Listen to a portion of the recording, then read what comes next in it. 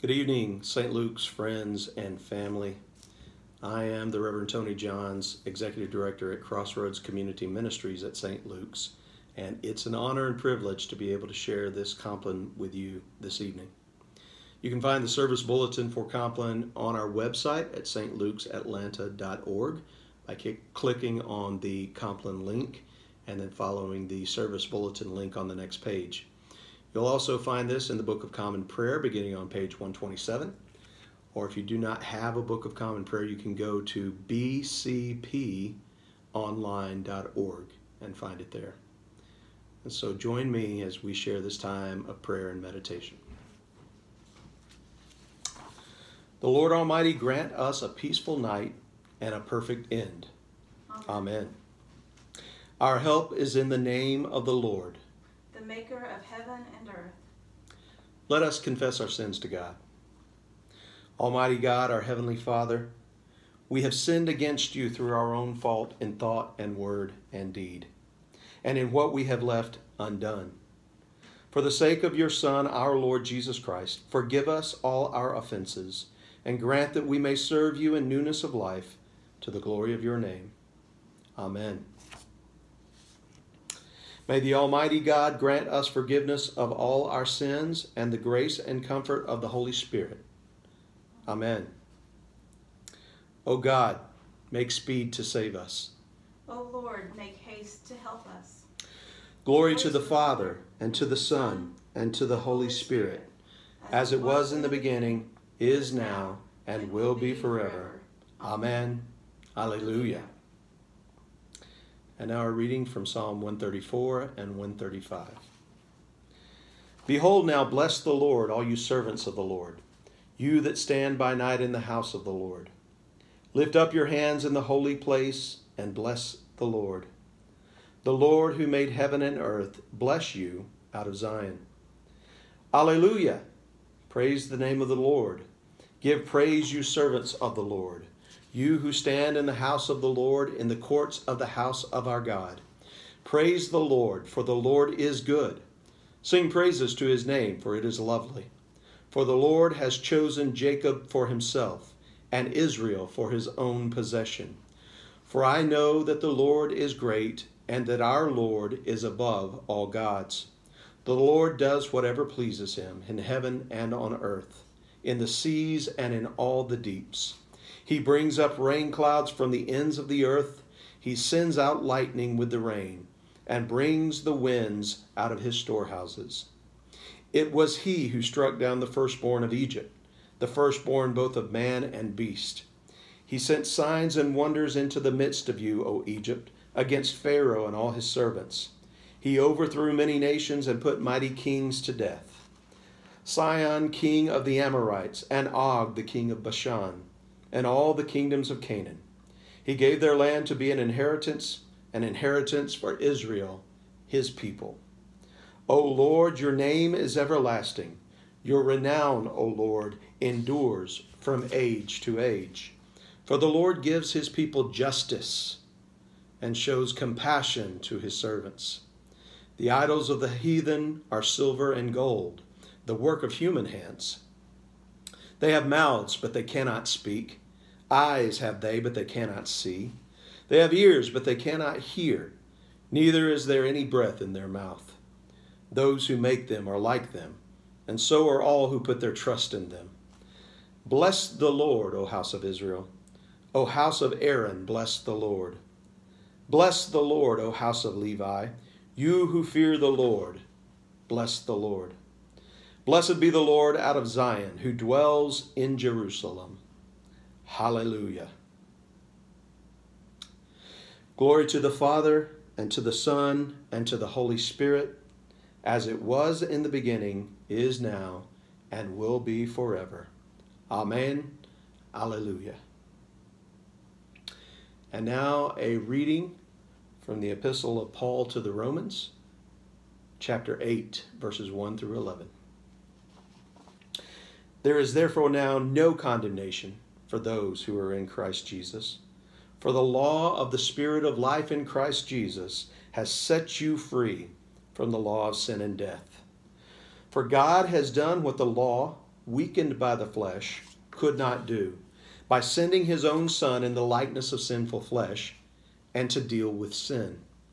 He condemned sin in the flesh so that the just requirement of the law might be fulfilled in us, who walk not according to the flesh, but according to the Spirit. For those who live according to the flesh set their minds on the things of the flesh, but those who live according to the Spirit set their minds on the things of the Spirit.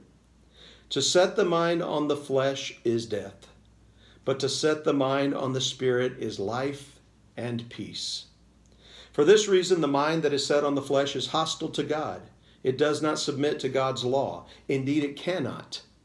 And those who are in the flesh cannot please God. But you are not in the flesh, you are in the Spirit, since the Spirit of God dwells in you. Anyone who does not have the Spirit of Christ does not belong to him. But if Christ is in you, though the body is dead because of sin, the Spirit is life because of righteousness. If the Spirit of Him who raised Jesus from the dead dwells in you, He who raised Christ from the dead will give life to your mortal bodies also through His Spirit that dwells in you. The Word of the Lord. Thanks be to God. Into your hands, O Lord, I commend my spirit. For you have redeemed me, O Lord, O God of truth. Keep us, O Lord, as the apple of your eye. Hide us under the shadow of your wings. Lord, have mercy.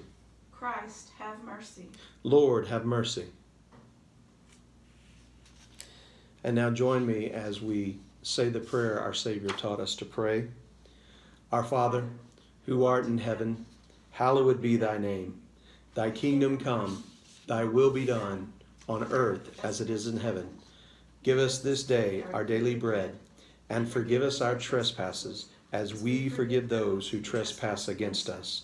And lead us not into temptation, but deliver us from evil. Lord, hear our prayer. And let our cry come to you. Let us pray. O God, seeing as there is in Christ Jesus an infinite fullness of all that we can want or desire, May we all receive from him grace upon grace, grace to pardon our sins and subdue our iniquities, to justify our persons and to sanctify our souls, and to complete that holy change, that renewal of our hearts, which will enable us to be transformed into the blessed image in which you created us. Oh, make us all acceptable to be partakers of the inheritance of your saints in light. Almighty God, who pours out on all who desire it the spirit of grace and of supplication, deliver us when we draw near to you from coldness of heart and wandering of mind, that with steadfast thought and kindled affection we may worship you in spirit and in truth, through Jesus Christ our Lord. O great love, thank you for living and loving in us and through us. May all that we do flow from our deep connection with you and all beings. Help us become a community that vulnerably shares each other's burdens and the weight of glory. Listen to our heart's longings for the healing of our world. Knowing you are hearing us better than we are speaking, we offer these prayers in all the holy names of God. Amen. And now I invite you, where you are, in your heart and mind and spirit, to share your prayers and your thanksgivings to God. Let us pray.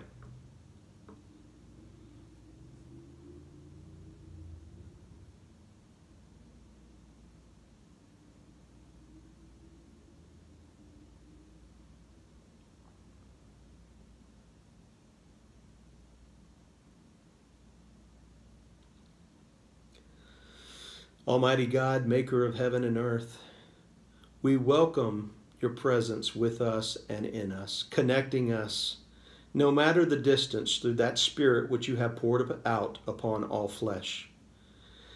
Guard us tonight. Guide us tonight with your light. Teach us, Lord, by your Spirit, who is our teacher. For those who are sick, we pray your healing. For those who mourn, we pray your comfort. For those who struggle, we pray your strength. For those who long, we pray your fulfillment. And for those who rejoice, we rejoice together with them in all the goodness that you have given, knowing that your salvation comes often through suffering that leads to life. Give us that life, Lord God, and heal our wounds, we pray. In Jesus' name, amen. Now join me as we say, Guide us waking, O Lord and guard us sleeping, that awake we may watch with Christ, and asleep we may rest in peace. Let us bless the Lord. Thanks be to God. The Almighty and merciful Lord, Father, Son, and Holy Spirit, bless us and keep us tonight and forever. Amen.